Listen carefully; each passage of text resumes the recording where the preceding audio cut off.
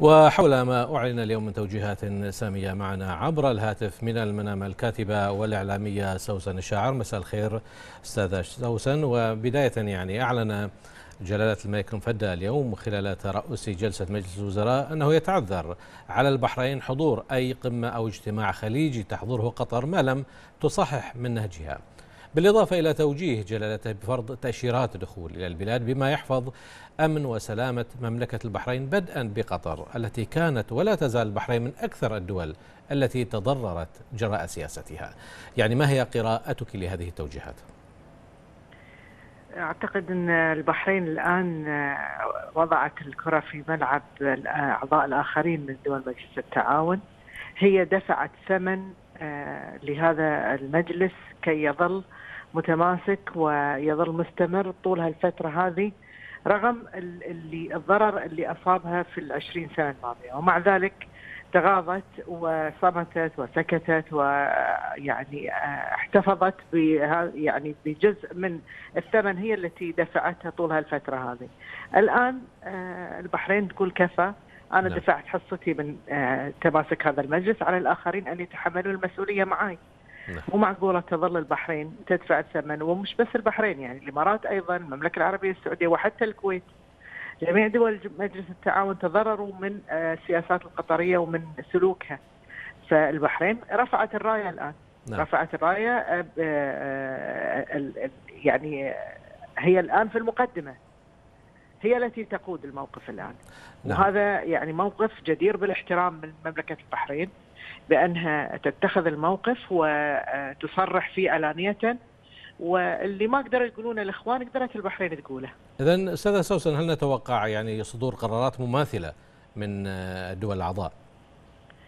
أعتقد إن الدول الثلاثة اللي هو البحرين والإمارات السعوديه متفقين تماما نعم. على أنه لا قمة بوجود قطر. وهذا لا يعني أنه لا قمة يعني سينتهي عقد القمم الخليجية أو المجلس سينحل أو سيتفكك ابدا. إحنا حريصين على هذا المجلس أكثر من أي عضو آخر بدليل صبرنا على هذا الضرر إكراما لهذا المجلس. الآن إحنا نريد أن نصحح ونقوم هذا المجلس كي يعني نتحرك إلى الأمام بمجلس قوي أعضاء متماسكين منسجمين المزاج واحد، السياسة واحدة، طالما المهددات واحدة ومصيرنا واحد بالفعل. فإذا كانت دولة مثل إيران تهدد كل دول مجلس التعاون بلا استثناء. الآن إذا ما وقفنا وقفة رجل واحد وجميعنا في صف واحد فما فائدة المجلس اذا؟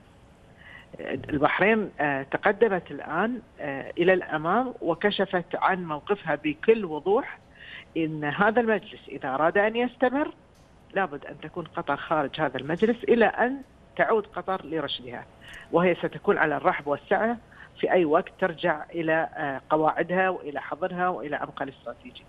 أما ما قبل ذلك إذا أردنا لهذا المجلس أن يستمر اذا أردنا إلى الأمن الأمن والاستقرار ويعني لا يمكن أن تحضر دولة تستعين بقوات إيرانية وتتحالف مع إيران وتحضر لجان الوزارية أو لجان الأمنية أو اللجان العسكرية نعم. هذا لا يتطابق مع الواقع يعني لا نضحك على نفسنا الفترة اللي فاتت كانت البحرين ومش بس البحرين كل الدول تتحفظ في اجتماعاتها لوجود قطر فيها. نعم. فإذا متى يستمر هذا الوضع لازم نكون واضحين وصريحين خاصة أن الآن المجتمع الدولي كله يحارب الإرهاب ويتفق تماما على مواقفنا تجاه إيران وضد إيران. يعني إذا كانت أوروبا تصرح أن فعلا إيران تمارس يعني سلوك غير شرعي في منطقة الخليج العربي.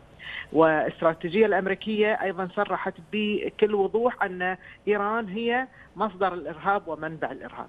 أتي دولة من دول مجلس التعاون وتتحالف مع إيران في هذا الوقت تحديدا؟ يعني هذا انتحار. ليش أتجرنا كلنا معاها؟ فإحنا أولى بأن إحنا نحافظ على, على هذا المجلس.